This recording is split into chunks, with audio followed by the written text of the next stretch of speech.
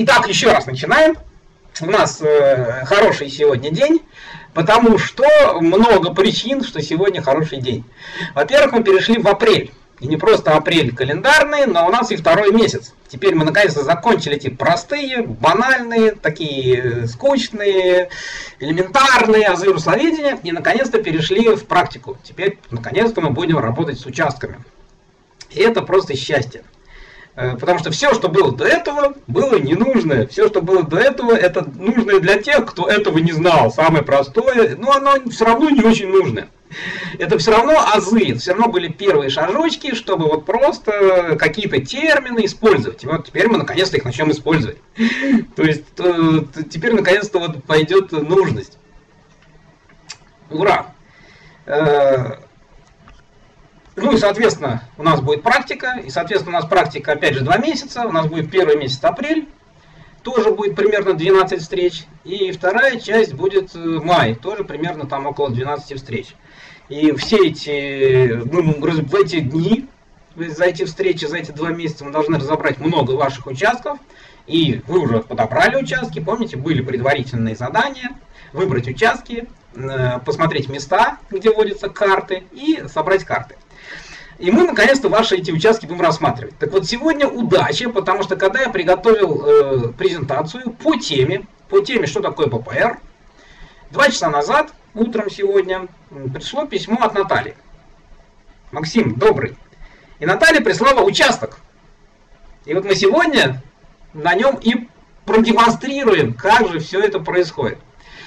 Э, в связи с тем, что я его только получил, то есть я в нем до конца не разобрался, и это хорошо, я как раз вам покажу те мыторства, те тырканья, те вот э, сомнения, Галина, добрый день, который происходит, когда а, работаешь с незнакомым участком.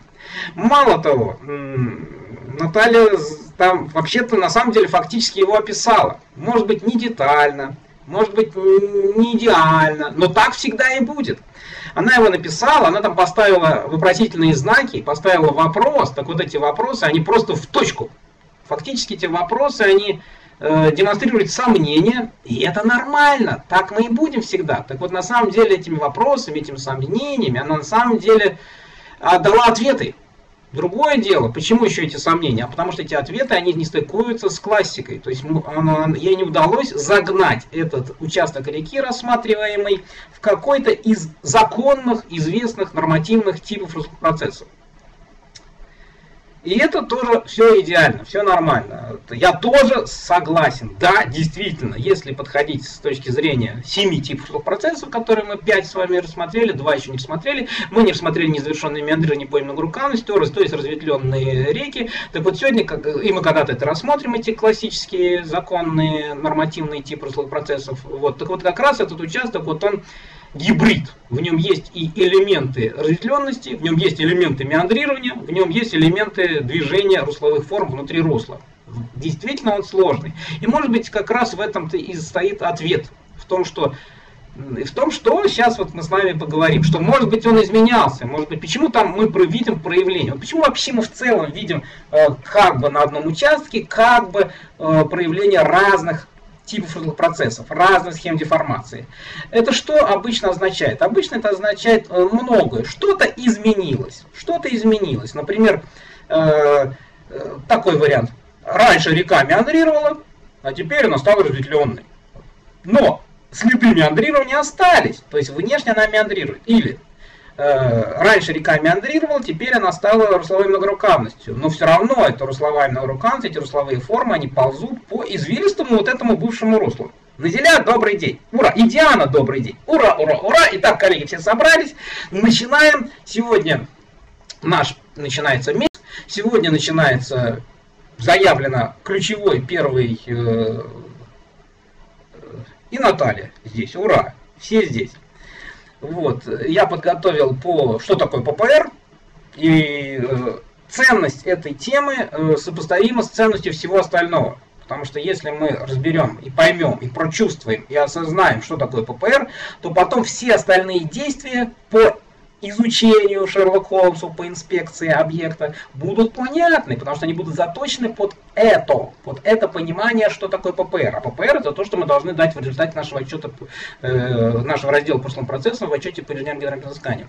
И потом также будут понятны методы, потому что просто так описаловка участка, она может показаться какой-то вот э, странной.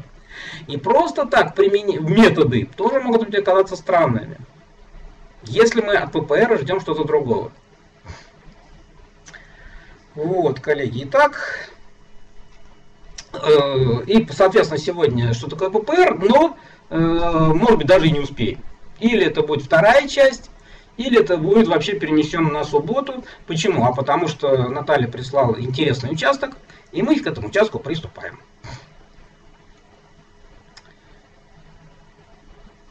Ура, коллеги, да?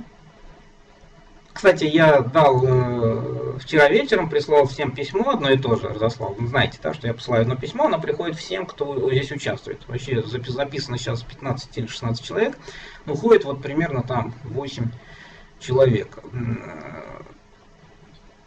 И я не посмотрел, сегодня утром ответил ли кто-нибудь вот, э, о ваших ощущениях по первому месяцу. Вот. Ну, я посмотрю еще.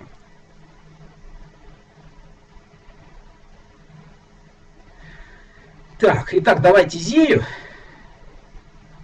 И будет зависеть от того, насколько быстро ее сделаем. Можно и быстро, можно не быстро. Практика показывает, что я ну, рассказываю долго. И если это будет долго, то тогда что такое ППР переносим на субботу. Если быстро, то и сегодня попробуем сделать такое ППР. Так, вот участок. Такой участок реки Зея. Думаю, что это незавершенное меандрирование. Э, правильно и неправильно, потому что мы увидим эти элементы, и чем-то осложненный это еще более правильно. Да? То есть вот то, что...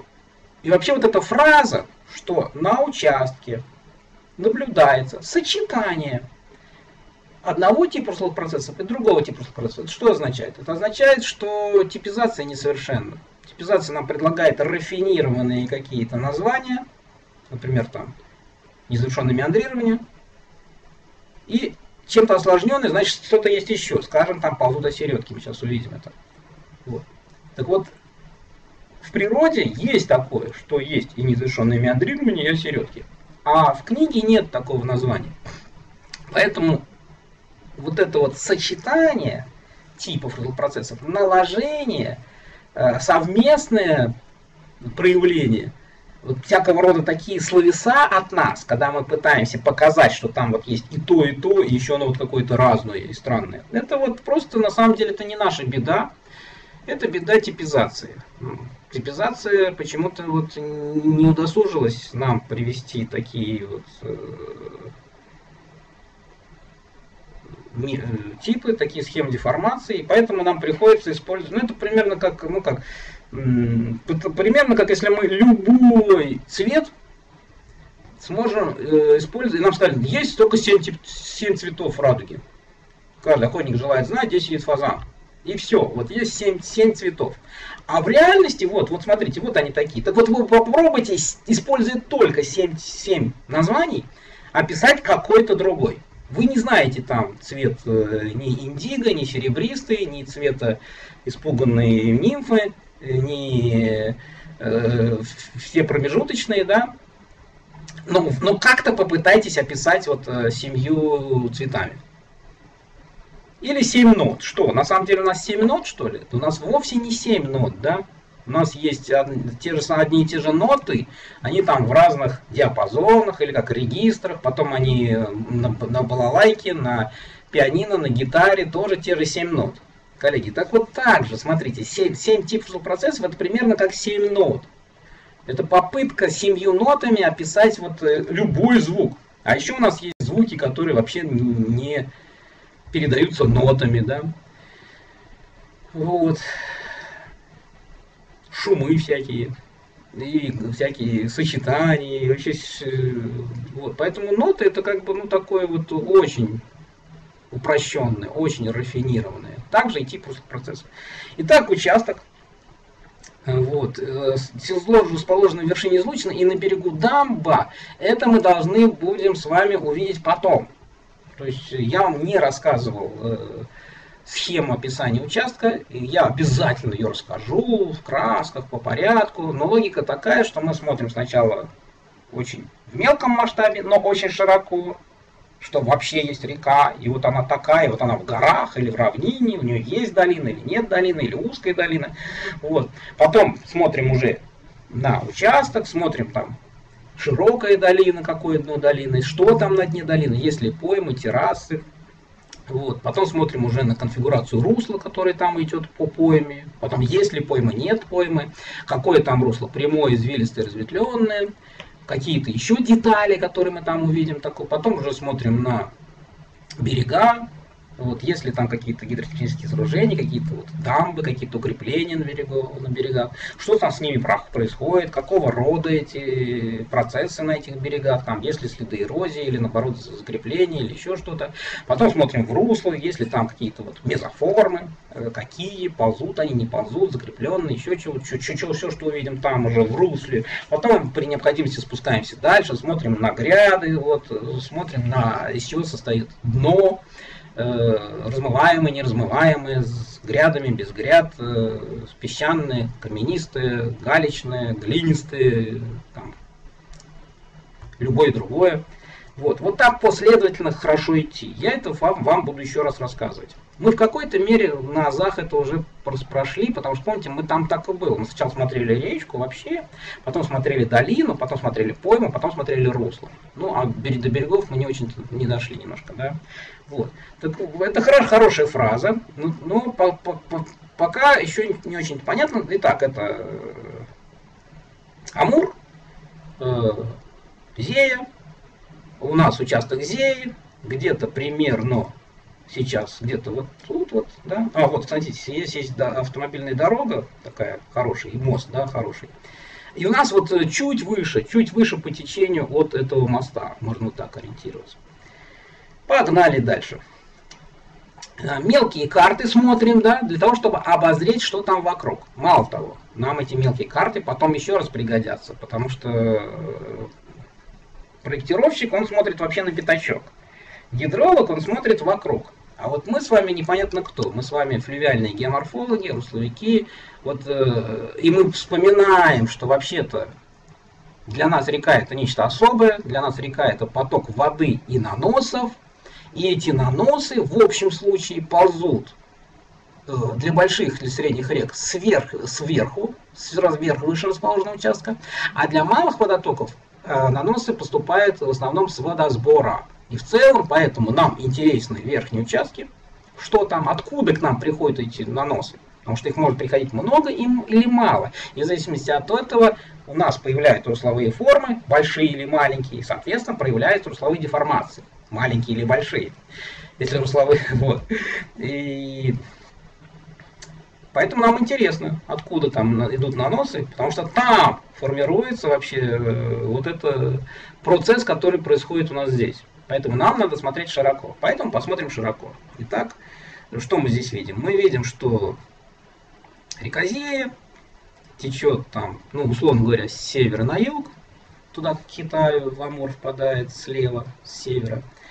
Э, интересно, что здесь выше по течению расположена река Селимджа, и она такая, вот видите, ну, условно там, я, я точно не знаю, но примерно там сопоставима, да, с рекой Зеей. Что мы еще здесь видим? Мы видим, что здесь э, очень хорошо и явно прослеживается э, долина, да. Мы видим, что вытянута долина с севера-востока на данном участке на юго-запад. Она такая, видите, низенькая, заболоченная, то есть здесь мы, мы, мы четко выделяем дно долины, да, вот очень хорошо вот этот вот западный правый склон долины прослеживается. Мы видим, что здесь вот э, рек, э, дно долины, а здесь вот склон. И мы понимаем, что вот здесь река Зея никогда не была, ну, по крайней мере, последние миллионные лет. Вот. Э, мало того, здесь, соответственно, человек все это использует, он здесь сделал город один, сделал какие-то другие. Здесь вот пересек дорогой железной. Здесь, кстати, будет еще автомобильная дорога, вот где-то вот здесь вот, но здесь еще это старая карта. это какой-то 500-тысячник какого-то там 70-го, 80-го, 90-го года. Соответственно, вот автомобильная дорога здесь пока не показана. Вот. Э, видим притоки, да, притоки, а притоки почти что горные, да, такая вот большая пера, я не знаю, куда ударение. Вот. Потом что мы еще видим? Мы видим, что вот отсюда, интересно, что долина продолжается по Селимдже, точнее начинается скорее с зим Селимдже, а вот сама Зея, она выходит вообще-то с гор. С гор. То есть, смотрите, мы, э, то, что э, долина существует, э, дно долины широкое, э, большое, там где-то мы сейчас попытаемся выделить э, пойму и террасы, чем отличается пойма от террасы? Пойма затапливаемая часть на долины, терраса незатапливаемая, но в целом нам, как русловикам, они, мы понимаем, что если то и то сложно из алювии. Это река себе сделала. Вот, в общем случае. Но не обязательно. Вот. Так.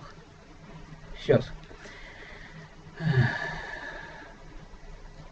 То есть мы понимаем, что вот это все, вот это все, это все, что где река была, и, соответственно, где река будет, да, выделяем вот это.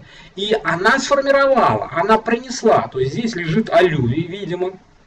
И, видимо, сейчас относительно свободные в пределах этого деформации реки, русла, как плановые, так, возможно, и глубинные. Мы продольный поперечный профиль геологический не, пока не знаем, не видим, но мы догадываемся, да, что если это большая река, она много здесь что делала, если она сделала себе такую широкую дно долины, такую широкую пойму, то, соответственно, наверное, она сделала себе и по глубине. Видимо, там у нее, к чему я, что нет особых, наверное, глубинных ограничений по глубинным деформациям. Вот, но река вытекает с горы, с горы. То есть здесь она меняется, коллеги. Река меняется. Она сначала горная, где-то там, э, а потом она равнинная. Вот здесь она, на мой взгляд, все-таки какая-то равнинная, да. Потому что здесь она горная еще, еще и к тому, что она еще и зажатая. Видите, она пробирается, она продирается между все-таки, может быть, не очень высокими горами, но все-таки какими-то повышениями явными. Да? То есть там нет широкой э, долины, а здесь есть широкая долина. И все это мы как-то интерпретируем в транспорте наносов. Что получается, что там, где река горная, там уклоны побольше, там э, долина поуже, там, наверное, транспорт наносов. И, наверное, наносы от, оттуда поступают. И, видимо, здесь, видимо, я догадываюсь, так условно, я, я фантазирую, я не знаю этот участок, что где-то есть перелом продольного уклона. То есть выше по течению уклон большой, большой уклон, а потом вот здесь, вот ниже по течению, туда вот ближе к Амуру, уклон э, реки, видимо, меньше. И, соответственно, что происходит? Происходит такая вещь, что те наносы, которые двигались, когда уклон большой по горной части, потом здесь они как-то откладываются. И, видимо, вот эта вот долина, это и есть вообще, вообще что такое? Это вот этот алювий, это и есть отложившиеся все те наносы, которые миллион лет, э, лет Зея из Селимжа несли со своих верховий. И притоки многочисленные, и эти притоки тоже большие. Вот, вот, то есть тут такой вот э, многовековой какой-то э, Э, э, условные, я не знаю, как на самом деле, но я фантазирую сейчас, как происходит здесь транспорт наносов. И, соответственно, вот уже на этом фоне, на фоне вот этих вот э, широкого алювия, глубокого алювия, толстого мощного слоя, здесь уже происходят разного рода русловые деформации которые, смотрим уже туда дальше, и мы что видим? Мы видим, о, так река извилистая, мы видим это, очевидно? Очевидно. То есть, значит, что такое извилистая река в свободных условиях? Если бы, смотрите, вот если извилистая река Зея где-то вот здесь, вот где-то она зажата, в верхнем течении зажата, то там извилистость орографическая. Там не река извивается, там извивается дно долины. И, соответственно, река просто следует этому, этим прямым участкам э, долины, извилистым участкам долины. Какова долина, такова и река. А вот здесь она делает то, что хочет. А что она хочет? Она хочет разное. И мы видим, что она, видимо, все-таки извилистая. Извилистая, извилистая. Что мы еще здесь видим? Мы видим, что здесь есть еще признаки того, что она была раньше извилистая. Видите, здесь еще есть всякие старицы, видите, старицы, да, разного рода старицы. Вот.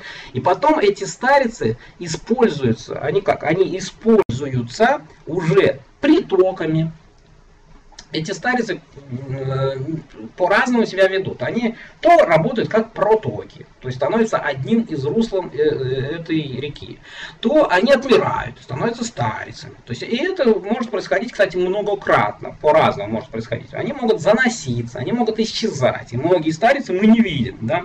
И если вот сейчас посмотреть, например, какой-нибудь, вот сейчас покрупнее что-нибудь посмотрим, да, вот, вот покрупнее наш участок, мы видим, смотрите, вот старица, да, вот, ну она эта старица, так, вот, видно это в левой части картинки, сейчас я, вот, видите, то есть это старица, это, здесь было русло, это русло э, уперлось, мало того, оно так уперлось, что смотрите, здесь вот э, подножие э, этого западного правого склона долины, оно прямое, а в этом месте выгружено, да, то есть здесь она хорошо поработала река. Это кто была? Это была Зея, больше нечему быть, да.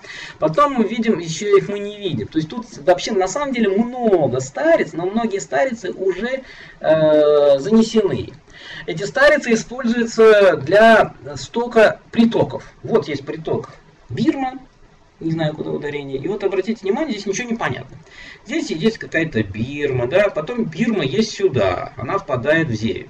Потом здесь есть какая-то еще протока Бирма или не Бирма, Бирма, да. И вот здесь я не знаю, что происходит. Возможно, это рукав, который течет сюда по течению Зеи. Да, здесь же уровни воды Зеи выше, здесь уровни воды Зеи ниже. Э, здесь река Зеи течет по основному руслу, а здесь, возможно, она течет по этой протоке. И, возможно, в эту протоку уже впадает река Бирма. А может быть, как-то здесь по-другому. Может быть, Бирма течет сюда, а потом, э, если здесь выше эти отметки, 148, в общем, не знаю, что здесь происходит, но мы что, мы понимаем с вами, что здесь ужас, да, что здесь мы уже убедились, что здесь есть проявление извилистого, и это извилистость меандрирующая, не, не вынужденное меандрирование, а меандрирование такое настоящее. Этот термин этот плохое настоящее меандрирование. Типа, а что есть не настоящее? Вообще-то да, есть не настоящее. Как раз вот эти врезанные реки извилистые, это не меандрирование. Это вообще не меандрирование. То есть у нас есть меандрирование, и оно меандрирование, оно как бы настоящее. А есть вот всякое другое. Есть меандрирование, извилистость, которую мы просто не имеем права назвать меандрированием, поэтому оно и не будет настоящим. Не знаю, понятно ли я сказал. Вот. Значит, что мы видим? Мы видим, что здесь, э, по крайней мере, мы четко понимаем, что здесь река раньше меандрировала.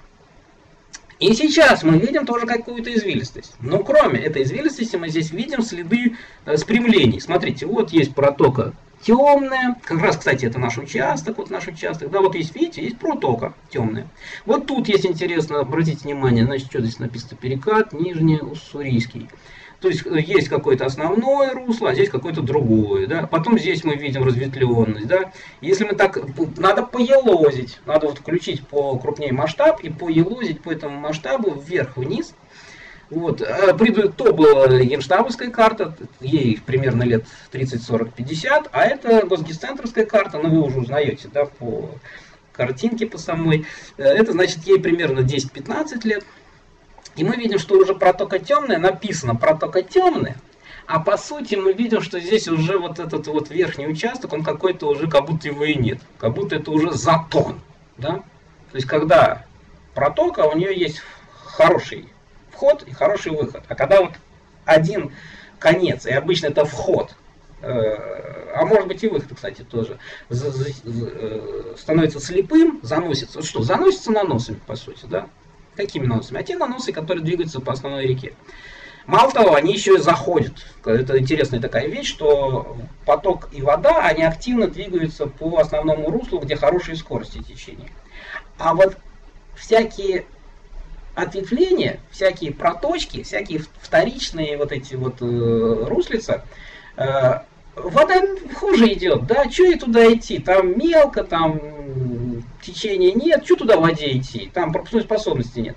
А вот наносы, они шарахаются, они, они идут куда-то туда, то сюда, они болтаются так. И вот если они попадают в какой-то вход, там, где стоящая вода, то там они и оседают. Примерно как, э, представьте, что у вас есть грязная улица, по этой улице идет э, поток машин, и вот машины, они как, вы, они ничего с мусором не делают, но мусор сам уходит с тех мест, где двигаются машины, потому что там И они просто хаотически куда-то перелетают. Но в тот момент, когда мусор попадает на обочину, он перестает двигаться, потому что там вот он уже в затишок попал. Он там попал вот э, э в, в такое место, не знаю, коллеги, понятна ли это аналогия, вот, это один из таких вот, мне кажется, довольно понятных э, объяснений, почему заносятся вот всякие входы в вторичные русла. Хотя это не обязательно, вполне может быть и, и не так происходить тоже к чему? Что это объяснение, оно может быть понятно, если кто понял, коллеги, кто понял объяснение, почему могут заноситься наносами входы в... Э, это понятно? Вот в таком... Хотя, к чему я? Что... А может быть совсем по-другому. Коллеги, кто меня слушает?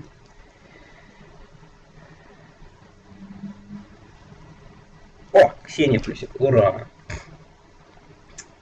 И на зеля два плюсика. Ура! Кто три плюсика поставит? Ну ладно. Все остальные понятно, Наталья. И Диана плюсик. Ура!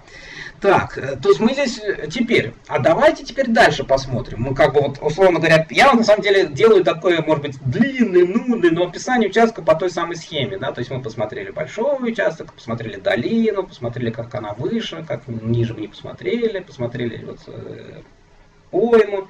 Вот, возможно, здесь мы пока еще не выделили, но слушаем, слушаем, Максим, ура. Вот, что, может быть, мы еще не, не разобрались, но, э, может быть, здесь где-то есть низкие участки, которые пойма. Мало того, э, сама пойма может быть низкая и высокая, и даже может быть несколько разных высотных уровней пойм, особенно на больших реках, Азия большая река. Вот, э, это что, какой признак? По, почему они поймы? Хотя и высокая и низкая, потому что это затапливаемая часть над долиной. А почему они высокая и низкая? Просто потому что они разные. Вполне такое может быть. То есть может быть и одна пойма, а может быть и разные поймы. Очень часто бывают разновысотные поймы на э, левая пойма и правая пойма. Часто бывают разные высоты. Вот. А что это такое терраса? Терраса это та же пойма, просто теперь она перестала быть поймой. То есть она по генезису, по генезису та же самая, по происхождению тоже сложная алювием. Ну, почти всегда есть разные террасы, есть иногда террасы бывают такие цокольные, бывают часто неразмываемые, тоже такие бывают. Вот. Но пока мы что-то особо здесь это не присмотрелись, пока мы как будто бы все это вот так вот. Хотя, смотрите, очень интересно, вроде это пойма, вроде затапливается, но почему тут населенный пункт? Ну, этот населенный пункт вроде повыше, да, вот Красноярова вижу, видите, он как будто повыше, да. И вообще, вот смотрите, вот здесь вот такое впечатление, что уже река э, Зея никогда не была, да, вот. Почему? Потому что вот какой-то здесь рельеф такой вот не такой. Потому что смотрите, какой здесь рельеф. Видите, этот рельеф весь испещрен испещрен. Вот что это такое? Вот что это значит вот такие вот такого рода вот, вот весь весь весь. А, а здесь его нет, кстати, таких испещрений. А потому что сюда попал переход между какими-то горизонтальными, там какой-то. Сейчас посмотрим, между какими. 145 вот здесь такая 150 горизонталь, так, да, а вот, а здесь нет 150 горизонтали, здесь еще 160 где-то будет, но еще нет, поэтому здесь такого нет. Вот. Но это что? Это значит разного рода понижение повышение. А вот это вот, и вот это вот такая вот э, гребнистость, или еще это называется, кто читал книжку Игоря Владимировича Попова «Загадки речного русла», он там написал. Село по геологической карте расположено на первой надпойменной террасе. Вот, точно. То есть мы видим в целом, что это все затапливается, в целом все это деформируется. Вот. А вот эта первая надпойменная терраса, это что такое? Это просто бывшая пойма, но она была поймой, скажем, там, ну, 100 тысяч лет назад или 10 тысяч лет назад. Ну, в общем, а сейчас она перестала затапливаться. То есть она такая высокенькая, что вот не затапливается просто. А, кстати, не затапливается, может быть, по разным причинам. Первая причина. Я сейчас перечислю как минимум три причины, почему что-то раньше затапливалось, ведь оно затапливалось, оно же образовалось. Оно, смотрите, оно, хотя не обязательно, смотрите, может быть и не затапливалось. Потому что, смотрите, если вот этот участок, вот если вот этот вот участок, это вот высокенький, и вот если здесь никогда не была река Зея, то тогда это вот именно прямо, вообще-то это очень низенький коренной, ну, ну, мы не знаем, что это такое. Может быть, это очень низенький коренной склон. А может быть, это очень высокенькая пойма. В чем отличие? Отличие в том, что если это сделано рекой, Зеей, то это вот э, пойма, терраса, она сложена алювием, вот оно вот такое. То есть оно раньше затапливалось, но раньше было пойма, а теперь не пойма. А если это вот оно здесь никогда река не была, по крайней мере, скажем, там последние 100 тысяч лет, если, если никогда не была, то тогда все нормально. Это просто коренной склон, там река не была. Что такое коренной берег, что такое коренной склон долины, э, вообще коренные места? Это там река не была. Вот. И вот если она там не была, то есть это вот по геологической карте нужно посмотреть, что там написано. Если там написано алювий, вот, но высокий, значит это бывшая пойма. А если там написано что-то такое вот э, не четвертичное, то это тогда вообще-то коренной, коренной берег просто невысокий такой. Но нам интереснее вот это, коллеги. Смотрите, здесь есть другой населенный пункт, вот даже несколько вот есть Гащенко, Желтоярова, Татузаган, да. Э, они-то в поэме, они-то очевидно в пойме, да, мы видим, что здесь вытворяла река, что, что хотела. Вот, вот она вытворяла, да. Э, и тут что-то делала, видимо, вот, видите, какие-то штучки такие, вот, вот эта штучка, это вот это вот э, древние излучено, может быть, 5 тысяч лет назад, может, 500 тысяч лет назад. Вот, и вот это вот, э, э, то есть высокенькая. Э, то, то есть э, затапливалось когда-то, может быть 5 тысяч лет назад, может 500 тысяч лет назад затапливалось. То есть это аллюри. И вот когда получается так, что... А может быть они просто живут в пойме. Может быть они просто затапливаются. Просто они затапливаются, там, скажем, не каждый год. Может быть они готовы к тому, что они будут затапливаться. А может быть там есть какой-то останец. Вот смотрите, есть какой-то... Вот видите, здесь есть какой-то вон триангуляционный знак 155, да, и может быть это высокое такое место, и может быть вокруг этого вот, то есть нашли люди такой пятачок, и может быть там вообще коренной останец. В общем, ну не важно все это. Давайте к, к важному перейдем.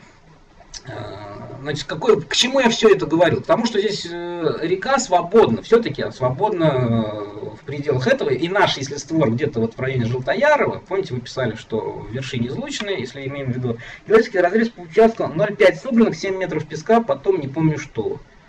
Так, ну 0,5 суглинок вообще я не понимаю, что это такое. Это где, снизу или сверху? Если это снизу где-то там э, и 7 метров песка, значит вот это 7 метров песка есть алювия, а потом суглинок. А если это сверху суглинок 0,5, так это просто какой-то, это печина может быть. Смотрите, коллеги, это я тогда вам расскажу про печину. Э, что такое печина? Это э, вот здесь вот, э, вот эта печина. Вот здесь вот сверху. Вот может быть сверху суглинок это когда? Когда было, было русло, потом это русло отшнуровалось, получилось старица. И эта старица, там стоячая вода, это озеро. Но это озеро потихонечку заиляется. И чем оно заиляется? Оно заиляется взвешенными наносами. Когда пойма затапливается, идет э, вода, вода с наносами, а когда эта вода с наносами, с этими взвешенными, с этой мутью, мутью, вот очень мелкая, а, заходит в озеро, вот эта вот муть оседает, и она оседает на дно э, этого озера, и там потихонечку откладывается. И вот эта муть, она такая мелкая, что это фракции сопоставимые, и это фактически и есть фракции глинистые, просто они взмученные. И вот потом потихоньку там за тысячу, за несколько тысяч лет, потихонечку-потихонечку откладывается, и там появляется глина.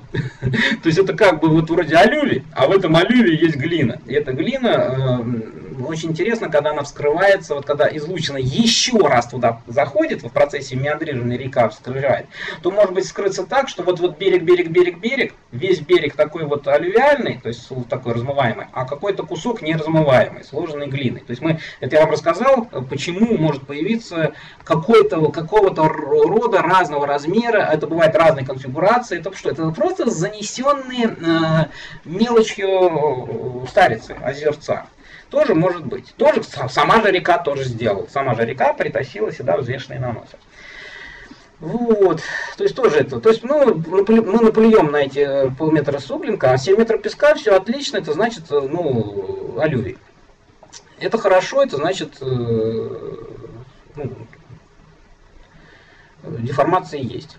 Вот. Мы сейчас переходим к, как раз к той изюминке этого участка, который мы здесь видим, и который вообще-то, Наталья, вы прописали сейчас в тексте, и сейчас будет и ваш текст тоже.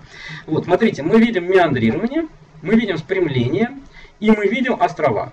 Пам-пам-пам, тут какой-то вот, какой-то, может, не остров, но все-таки причленившийся остров, да, тут остров посередине, тут какие-то острова. То есть мы что? Вот как раз мы, получается, что э, мы по какой-то логике меандрирования мы говорим «да, меандрирование». По какой-то логике разветвленных русел мы говорим «да, разветвленное русло». Ну, может быть, не совсем по именно Груканность. Просто у нас с вами не было темы, как, где я вам рассказывал про незавершенное меандрирование по именно Груканность. По именно Груканность, когда протоки, и проток ну, обычно много. А вот если там одна спрямляющая протока, это спрямляющая протока на меандрирование, то это называется незавершенное меандрирование. Соответственно, вот этот кусочек, вот, коллеги, вот этот кусочек, это вот если бы ничего другого мы не знали, то мы про него бы сказали, что это вот одна из стадий незавершенного меандрирования, когда меандрирование извилина, и в то же время есть спрямляющая протока. И вот тут тоже мы то, примерно так же можем сказать, особенно если вспомним, что было на предыдущей карте, да, на предыдущей карте здесь э, уже заносит, а здесь наоборот заносится, коллеги, вот заносится. По схеме э, незавершенного меандрирования Э, когда спрямляющая протока, она должна разрабатываться, она должна увеличиваться. А мы здесь видели наоборот. Мы, здесь мы видим наоборот не, незавершенный мендри. Нет, это незавершенный мендри.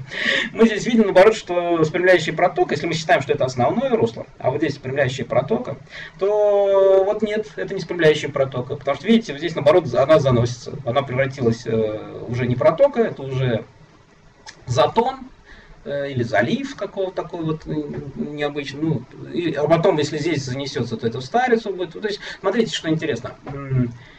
По схеме незавершенного меандрирования у нас всегда так. Всегда есть меандра, она спрямляется. Это спрямление становится главным руслом, оно увеличивается, оно само начинает меандрировать. А вот это бывшее русло, оно отчленяется, оно становится в старицу, оно умирает. Вот такая схема э, незавершенного меандрирования. Соответственно, мы здесь вот должны понимать, что если это основное русло, то должно вот занестись вход сюда, занестись вход сюда, соответственно, это станет старицей, а это будет основное русло, которое само будет продолжать развиваться, меандрировать. Ну, возможно, возможно. К чему я? Что эта схема, э, это то, что прописано в нормативных документах, в книжках, э, там как раз у Попова. У Попова, кроме книжки «Загадки речного русла», есть очень хорошая книжка, где он как раз описывает разные типы процессов, которая называется э, «Гидросхимическое строительство и русловые процессы». Я ее тоже вам вышлю, она тоже у меня есть. Она посложнее, она подлиннее, потолще, потяжелее, но вот уже для глубокого погружения там хорошо. Вот. Так вот, мы видим, что вообще-то как бы это не незавершенное меандрирование. Тут вот как-то по-другому происходит. И вот сейчас вот очень интересно, мы переходим дальше, мы будем сейчас вот, вот это вот гибрид всего этого, потому что вот мы уже все перечислили. Мы перечислили и элементы меандрирования. Есть они? Есть, по крайней мере в прошлом. Мы видим, вспомнили протоки, видим, видим. Вот, мы видим здесь русловые острова, какие-то, и может быть не острова, может быть там побочни ползут, да, видим. То есть мы, видите, мы с вами видим гибрид, мы с вами видим проявление разных схем деформации, то есть мы здесь видим три ноты. А может быть даже если присмотреться, то вообще целый конгломерат разных нот. И мы говорим, и что же это такое? И мы в недоумении, к чему это отнести? Если мы будем изо всех сил пытаться вот это сочетание этих трех нот отнести к какой-то одной ноте, то есть пытаться назвать одним ярлыком, одним названием из выделенных семи типов в рамках гидролого-морфологических теории процессов, прописанных в нормативных документах, то вообще-то это, это путь эм, это путь э, дилетанта, это путь э, тех, кто верит в нормативные документы, путь тех, кто считает, что в нормативных документах описаны все, норм... все типы процессов, вот эти семь. А мы вот видим гибрид. Коллеги, да, это и есть ответ. Вот то, что вы, у вас ваше недоумение, то, что вы спрашиваете, а что это такое, вот это, так вот, на самом деле это и есть ответ.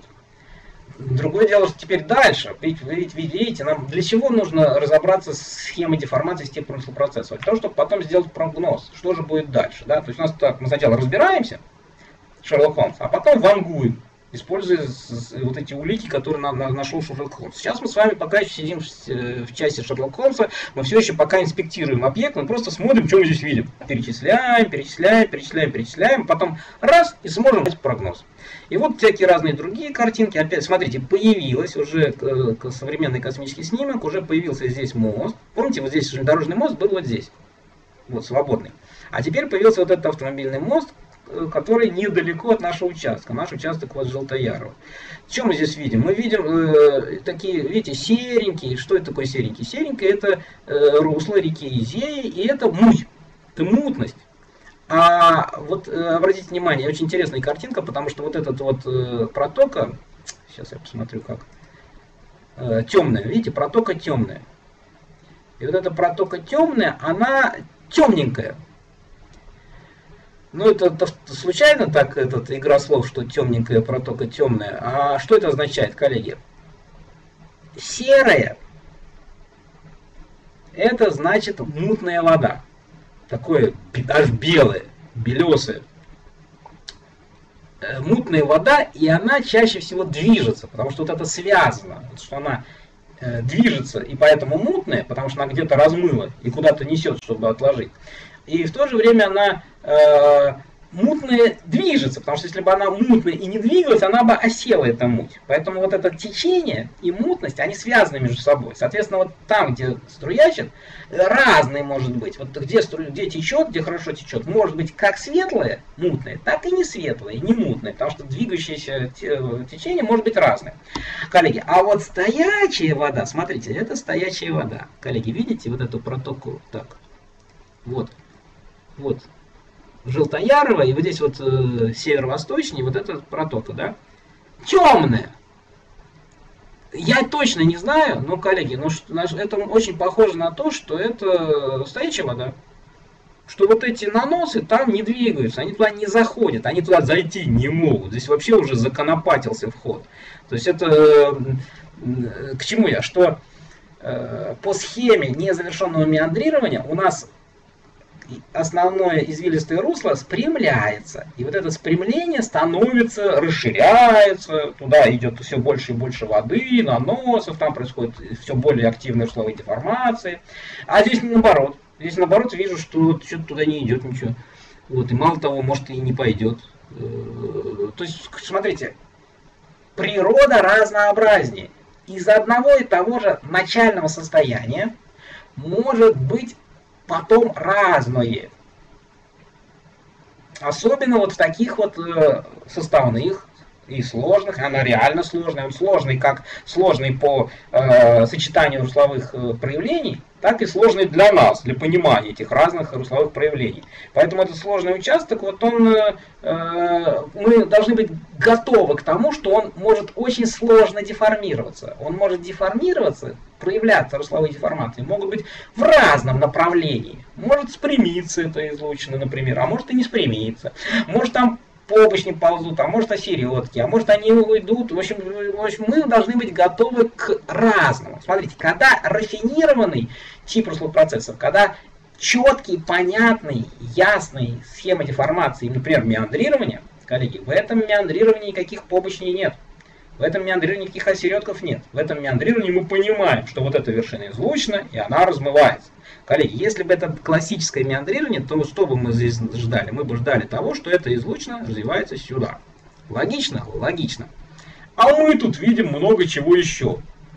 Мы вообще тут видим э, и осередки ползут тоже. Эти осередки могут э, совершенно менять. Вот, поэтому в данном случае вот это очевидное знание. Потом, если бы мы это назвали незавершенным меандрированием, то мы бы тогда ждали, что здесь будет спрямление, и все остальное, все, что я говорил о спрямлении, коллеги, да? А мы вот видим, что здесь что-то все как-то хитренько, да? И это тоже хорошо. Коллеги, итак, вот опять это уже современная Яндекс карта, покрупнее участок. Опять все здесь мы видим извилистость, мы видим спрямление, мы видим вот уже это э, бывшее. Вообще что? Это старица. Э, ну такая Фактически это старица, которая сейчас используется э, каким-то ручейком для какого-то локального здесь стока. Мы видим здесь всякие острова, мы видим русловые формы, видим русловые формы такие очень мощные, да, коллеги. Вот у меня такое, вот смотрите, что, о чем говорит вот такая вот штуковина, вот эта вот штуковина, вот эта штуковина. Она говорит о том, что вполне возможно вот здесь в вершине излучины, вот Желтоярова это вершина излучины. И по классике, по классике у нас вот здесь вот у вогнутого берега должно, должен быть э, плес, яма, размыв э, и, соответственно, смещение берега в эту сторону, вот на север. А здесь должен быть хороший плё, плё, пляж, э, намыв, аккумулятивной формы и все такое.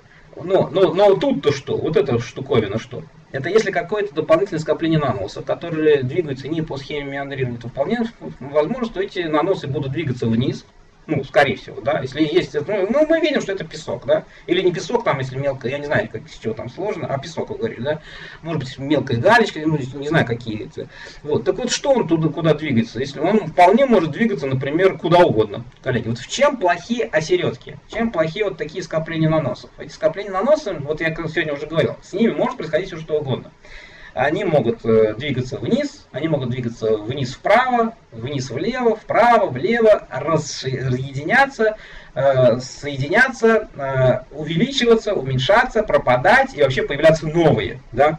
Вот, вот что. Поэтому смотрите, если вдруг мы теперь вдруг посчитаем, что это середковый тип, мы должны, смотрите, тут осередок, тут осередок, значит, может быть и тут осередок, и этот осередок, осередок очень хитрый. Осередок может привести к тому, что э, э, намыв, да, по горизонтальным информациям намыв.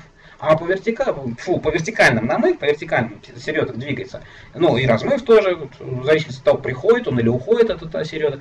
А вот горизонтальная информация основного русла могут быть какие угодно. И часто, если, так, смотрите, если вот осередок ушел от этого места, вот наше место, предположим, а осередок ушел, то здесь вполне может быть аккумуляция, да, Потому что наносы ушли, а здесь должны быть еще какие-то наносы. И вот здесь вполне могут быть аккумуляции. Вот у этого вогнутого берега, в вершине излучины, как вот меандрирование, а вполне может быть аккумуляция. А если вот, например, этот осередок придет сюда, то этот осередок разопрет русло, будет как бы два рукава, внутри одного русла будет два рукава, которые обтекают этот э, осередок или русловой остров. Да? Но мы говорили, чем отличается осередок от руслового острова. Осередок он такой вот э, низенький, а русловой остров это тоже осередок, просто уже больш, большенький такой осередок. Вот. И к чему это приводит? Приводит к тому, что этот вот русловой остров потока обтекает. И он может приводить к какому размыву этого берега. Но нерегулярному. То есть, если этот осередок опять уйдет, то здесь опять аккумуляция может быть. То есть, вы, вы видите, получается, в зависимости от того, что э, на что мы здесь обратим больше внимания, мы такую схему деформации увидим. Если мы скажем, что это меандрирование, то мы скажем, да, значит, здесь вот этот участок сюда размывается, вершина излученная. Если мы скажем, что это незавершенное меандрирование, мы скажем, о, так тут протока. Эта протока приведет к какому-то здесь непонятным деформациям. Если мы скажем, что это осередки, то мы скажем, о, осередки, там вообще ничего не понятно, с осередками можно ждать вообще все что угодно, но в целом там вообще-то э, значимые, значительные э, глубины деформации вертикальные, но все-таки не очень значительные плановые, в основном там такие, ну, аккумулятивные такое все. Зависит вообще-то на самом деле от состояния, мы, мы об этом увидим, когда мы погрузимся на следующий системный уровень, когда мы перейдем уже к рассмотрению берега, и отмели у берега, мы можем увидеть детали. И счастье заключается в том, и Наталью очень надо страшно похвалить, потому что э, вы нашли э, лосманские карты, коллеги, помните, для больших рек, чем у нас ценно, что там есть разные э, исходные данные, и ценным являются лосманские карты навигационные, особенно когда там есть судоходство, а еще, в смысле, карты обычно, они за разные годы, есть там 10 лет назад, 30 лет назад, 70 лет назад, и вот это все очень ценно, потому что оттуда мы бездну всякой информации находим. Так, ну это немножко, видите, уровень повысокий, но тоже, видите, серенькое, серенькое по основному руслу и черненькое по протоке. Значит, здесь шур шуруют взвешенные наносы. Ну и пока ничего не понятно, да? Давайте еще крутить, крутить, крутить. Э, определяются как природными, так и техногенными факторами. А, и вы говорили, что там есть э, э, э, какой-то берег укрепления, какого-то вида, там, шпоры. Я их на космическом снимке не вижу. Может быть, мы их на, на космической карте видим. То есть, когда, смотрите, когда это было меандрирование, когда меандрировалось, то здесь размывался берег. Хотя, смотрите, какие тут шикарные эти веера перемещений. То есть река здесь была везде. Вот. Э, то, видимо, это я не знаю, я на самом деле не знаю, что на самом деле было, но я так фантазирую, что если здесь какое-то теперь... То есть когда-то, когда здесь интенсивно размывало, тогда человек посчитал необходимым бороться с этим размывом. Это же вершина излучины, это же меандрирование. Хотя очевидно, очевидно. Вот. То человек решил укреплять. И, наверное, ну просто непосредственно по не видел, да, вот по факту, что вот оно, размывает. И есть какое-то укрепление. Я пока его не видел. Вот. Так, притепление значение. А, еще мало того, здесь еще есть здесь хранилище. Помните, там повыше, там есть э, хранилище, которое регулирует, вот, и которое что-то изменило. Да? Оно как, смотрите, оно разное, много чего разного могло сделать. Да? Что вообще делает водохранилище? Оно в нижнем, а в нижнем бефе. В нижнем бефе оно выравнивает э, расходы и уровни воды. То есть минимальный становится выше, а максимальный становится ниже. И, соответственно, амплитуда уменьшается. Вот. Э, но на русловые процессы, э, как это проявляется? На русловых процессах это проявляется обычно так, что а, уменьшается возможность, уменьшается затопление поймы, да, раз э, пики уменьшаются, раз наивысший уровень воды становится ниже, соответственно, они могут стать э, настолько ниже, что вообще быть ниже э, уровня поймы. Соответственно, пойма не затапливается, например, да.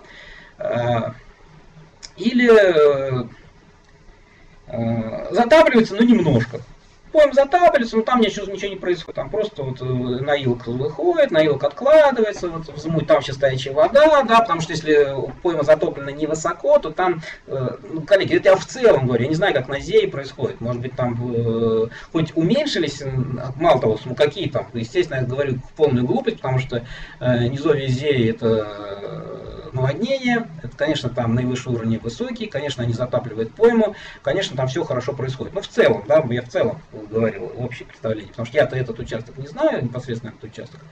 Вот. Э, претерпели значительные изменения после введения эксплуатации здесь хранилища. Но как да, нам-то интересно как, но вообще вот этот вот э, как будто бы отвлеченные знания, которые мы не можем приложить как. Ну хотя смотрите, вы же написали очень четко, что изменения произошли. Нам важнее что? Нам, нам не то, что важнее, а раз мы не можем понять, как именно изменились э, русловые деформации, нам пока э, может быть очень ценно само знание, что эти деформации изменились. То есть, например, например, раньше было меандрирование, а теперь э, меандрирование сменилось русловой многорукавностью. Но меандрирующее русло осталось, сохранилось то, которое было там последние 10 тысяч лет. А теперь вот по этому меандрирующему руслу, которое уже стало как бы мертвое, там уже предположим, я точно не знаю как, но я просто вам логику такую рассказываю, которая интересна, может быть, и вообще для любых других участков, в которых вот изменения прошли. Потому что, смотрите, коллеги, очень важная вещь заключается в том, что вот эти рафинированные типы руслых процессов и вообще вся та логика, которая прописана в рутинных документах, это вот важная, очень важная вещь считается, что ничего не изменялось и изменяться не будет. Что вот мы видим схему деформации типусных процессов. Вот так-то река изменяется. Например, по схеме меандрирования вот Изея менялась, да? Ну, она была по меандрированию, да? Там вот было хорошее меандрирование вот такое, правильное. Потому что что? Да потому что старится, да? Потому что вера перемещений. То есть, то есть мы же Шерлок Холмсы, да?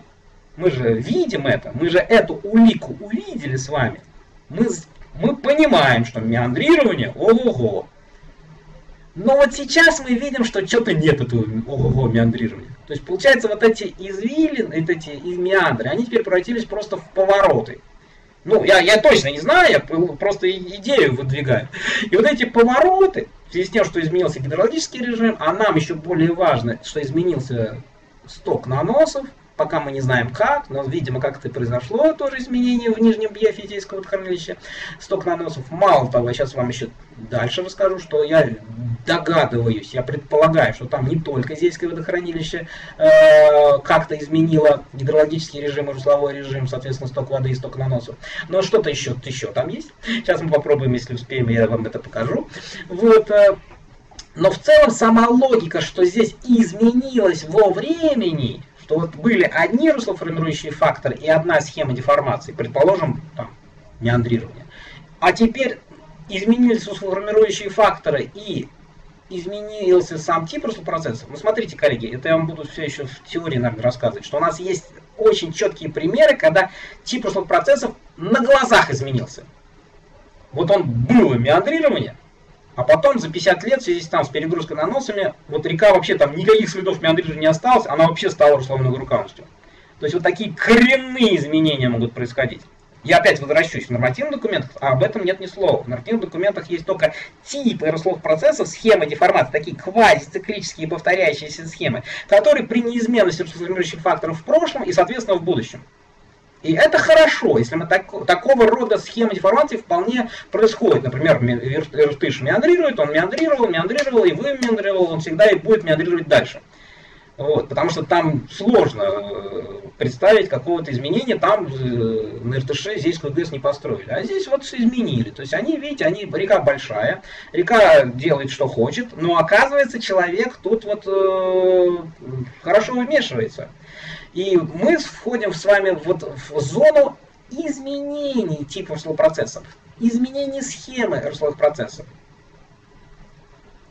То есть не просто изменение реки в рамках меандрирования, или изменение реки в рамках незавершенного меандрирования, или изменение реки в рамках побочных типа процессов или там ленточно-грядового. А мы всходим в изменение из одной схемы деформации в другую схему деформации. И вот здесь очень интересный участок, потому что, видимо, такое здесь происходит. И, видимо, еще полностью меандрирование не исчезло. А, видимо, оно переходит э, в условную рукавность, но еще до конца не перешло в условную рукавность. И э, в нижнем течении Зеи это произошло. Так, анализ развития, это вот супер, что вы нашли и карты, и космические, снимки, и лосманские карты. Вон какая тут. Это, и... А смотрите, само Желтоярово, оно само стоит на, это, на старице, видите, вот, вот, ты -ды -ды -ды -ды, ползет, да?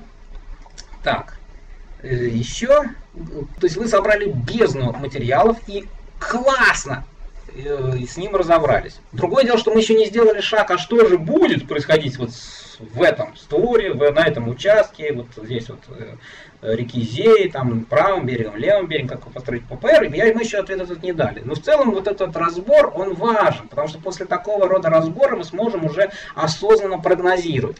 Вот. И тут вот вы как раз все, что я рассказал, вы еще лучше меня здесь написали, что в вершине излучины, да, то есть меандрирование. Заметно. Но если это незавершенное меандрирование, э, части протоки темные. Ну, мы с вами посмотрели, да, можно об этом подумать, но в данном случае такое впечатление, что здесь как бы наоборот. Здесь не разрабатывается протока темная, как спрямляющая, а как бы наоборот она отмирает. Потом, э, полуостров верхний, остров верхний. Вот, видите, то есть получилось, что тут какой-то другой процесс, вы еще отлично... То есть вот это, смотрите, вы задаете вопросы, у вас сомнения, так вот, только так всегда и будет. Вы будете сами себе задавать вопросы, или там мне, или еще кому-то, да, сами сомневаться. Так вот это и есть процесс понимания участка. Только в сомнениях, вот эти сомнения вы, вы, вы, вы, вы даете очень четко, что вы на самом деле даете ответы. Вот. Э, кажется, что незавершенность сложнее условием органности. Точно. Но мне кажется, что я ошибаюсь. Как первый напомню, по снимку кажется, что высокой поме. Так, э, процесс незначительный. Смотрите. То есть, если в вершине излучины, меандрирование, правый берег, вогнутый, вогнутый, должен размываться, плюс и все такое, но незначительный. То есть что, так раньше, похоже, раньше это была меандра, раньше, может быть, совсем недавно, раз там есть еще, вы говорите, шпоры или какого-то рода перекрепления, то есть совсем недавно, видимо, размывалось, совсем недавно по схеме меандрирования и происходило, возможно, там до э, введения в строй Зейской ГЭС. А после введения в строй Зейской ГЭС вы говорите, что э, вот, незначительные. Немалую роль играет дамба, примыкающая к правому берегу реки, заросшей травы. Но я не понял, где эта дамба пока незначительно вероятнее при прохождении паводка. А, но все-таки был паводок. Вот это, кстати, это тот самый паводок, да, который амурский. Вот, и, и, кстати, там, по-моему, чуть ли не ну какая-то, я не знаю точно какая часть, доля вот этого амурского паводка была с Зеи. Вот, но все-таки было, да. Все-таки были какие-то размывы. Вот. И мы подобрали разновременные э, лосманские карты. Мы видим опять проток Дамба на вершине излучины. Да, но я не понимаю, как она проходит. Это дамба, она проходит э, так или так, э, так то, то есть она же как, если бы это была плотина, мы понимали, что она перегораживает речку, да. А если мы говорим дамба, то эта дамба может быть продольная, поперечная, она может быть там, ну, я не знаю, где она находится. Вот. Ну это надо. Мы сегодня же не будет ответа. Вот, потому что нам э, вообще всем остальным в целом интересна э, сама логика вот, инспекции участка. Да? Вот. И э, вот смотрите, вот это вот, кстати, очень интересно. Смотрите, мы теперь дошли уже до, до берега, вдоль берега. Ага, ну где-то вот так, предположим, да, то есть они защищали ее. Смотрите, смотрим на берег. Э, э, по-моему, это было, помните, я вам в прошлый раз показывал такую табличку, где показывал, чем отличается меандрирование от э, не меандрирующих извилистых рек. Я там говорил, что много признаков, но там среди них был такой признак, который говорился, что при меандрировании берег плавный, потому что он везде хорошо, красиво размывается. И в то же время он плавный и вот этот вот, который вот э, выпуклый берег, потому что он везде красиво намывается. Что мы видим? Мы видим какие-то коряки, да? Мы видим какие-то изломы, коллеги. Вот изломы это не меандрирование.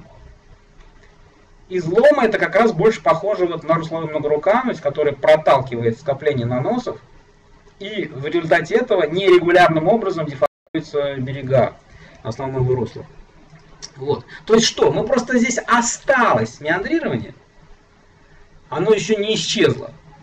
Просто потому, что большая река, трудно ее сильно изменить. Но в целом похоже вот на фоне прошлого меандрирования, которое уже угасло. Здесь происходит вот э, активный транспорт влекомых наносов в форме мезоформ, вот этих русловых островов. Просто это происходит по извилистому руслу. Вот, мне кажется, какой здесь ответ. Мне кажется, но я не, еще не знаю, я с этим участком знаком. Вот, коллеги, наш участок где-то вот здесь. Вот здесь наш участок, да? Видите, вот, вот здесь. А вот от сих до сих, вот, коллеги, смотрите, Белогория. И вообще вот здесь, коллеги, здесь тоже таки, такая же э, широкая пойма, там есть явные следы меандрирования, просто вот этот участок, я, я никогда там в жизни не был, просто это очень интересный, известный участок, описанный, как у Иосифа Филипповича Карасева в книжке 75 -го года «Переброска стока» и русловые процессы, как в книжке, забыл еще, в общем, этот участок вот очень много кем разбирался, коллеги. Э, в советское время э, низовье Зеи, где был, была глуб, большая глубина, использовался как отстойник э, подводных лодок э, на границе с Амуром, ну, по Амуру на границе с Китаем. Вот. В советское время на глазах река Изея в разных местах, в том числе вот здесь, вот Белогорье, коллеги, Белогорье, здесь Белые горы. Э, река Изея с двумя своими излучинами в процессе меандрирования подошла к высоким горам, вот, сложенные песком. Приезжайте к нам на берег Зеи. Да, вот, спасибо. Вот, коллеги, и тут река, обратите внимание, полностью выпрямилась. То есть там есть старицы, есть признак того, что совсем недавно река меандрировала. Есть карты, там, столетней давности, где река меандрирует. А сейчас она здесь вообще не меандрирует. То есть очень сильно изменился тип процесса. Тип процесса сменился с меандрирующего на осередки просто на наших глазах. Представляете, как, какая, какая логика у нас должна быть? Да вообще непонятно какая мы не знаем, как учесть вот эти изменения, особенно в будущем. Вот.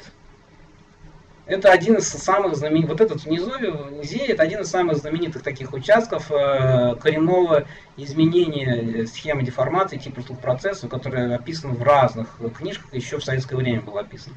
И я его тоже очень люблю рассказывать, у меня есть отдельная презентация, просто я сюда не вставил картинки с той презентации, где я об этом рассказываю. Вот. Поэтому вот у вас тут похоже это, бывшее меандрирование. И э, надо опасаться возможности образования пойменных проток по схеме там незавершенного меандрирования или любого другого. Вот. Надо опасаться образования пойменных проток. Но все-таки, мне кажется, в реальности там образования пойменных проток не будет. А надо просто теперь вот э, прямо спуститься на ваш системный уровень вот участка и, и по нему ковыряться. Так, ну и вот э, последняя фотография. То есть тут что-то происходит, э, видимо, интенсивного размыва, э, ради которого, видимо, недавно, да, ведь, видимо, недавно тоже дамбу построили, да, вот, то есть размывало. Ну, что-то похоже мне сейчас, что похоже не размывает. Но я не знаю, коллеги. Я вот прогнозом, оценкой того, что будет, не занимался. Мы просто с вами вот сделали все те шаги, которые ну, вот, предварительные, которые нам разо, называется разобраться. Да?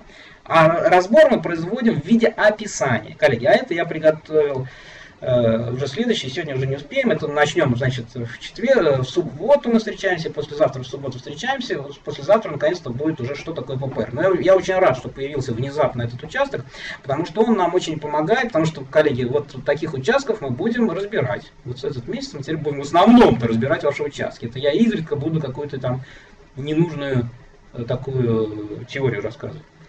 Наталья, отличный пример. Спасибо, Диана. Да, ура, коллеги. Какие мнения, ощущения, сомнения? Спасибо, Виталий.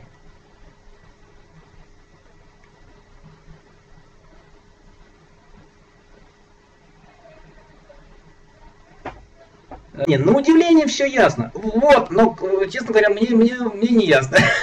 То есть, что тут на самом деле, мне не ясно. Мне ясно, что здесь вот э, ничего не ясно. И, коллеги, это, это вот нормальный ход развития. Вот. Коллеги. Так, Назеля, очень интересный участок. Назеля, у нас э, все участки интересные, когда снимем, да?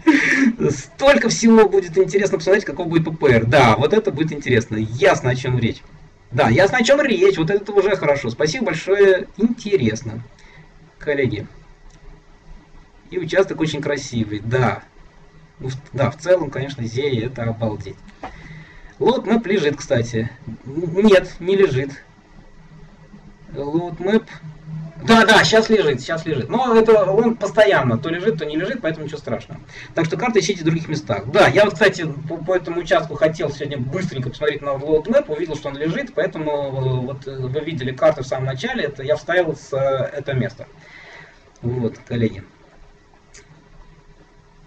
Так, для тех, кто э, на мастер-группе в понедельник у меня курсы в Москве начинаются. Я буду выходить э, по утрам, но я предлагаю первый, потому что у меня понедельник будет самый такой стрессовый, возможно, у меня еще интернета не будет. Поэтому я предлагаю понедельничную встречу перенести на завтра, на пятницу, по мастер-группе. Э, понедельничную перенести на завтра, на пятницу, по мастер-группе. Тем более, что у нас там есть много темочек мелких. А в рамках наших э, Шерлок Холмса мы продолжаем в субботу послезавтра. Коллеги. Согласна. В 10.